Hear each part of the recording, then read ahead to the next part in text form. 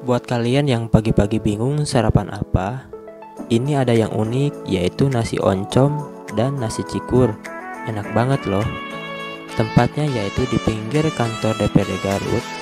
Nah, di sini kalian bisa pilih menunya atau toppingnya. Ada ayam goreng, ikan asin, telur dadar, dan masakan tumisan yang lainnya. Cocok deh buat sarapan atau makan siang. Karena buka dari pagi sampai siang wajib dicoba deh buat kalian yang uh, ada di Garut.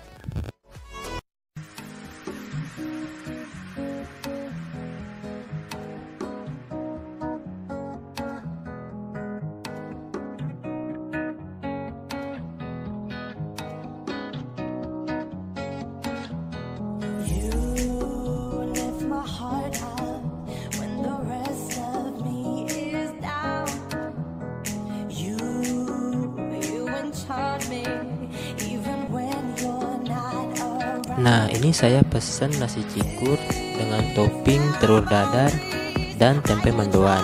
Harganya Rp11.000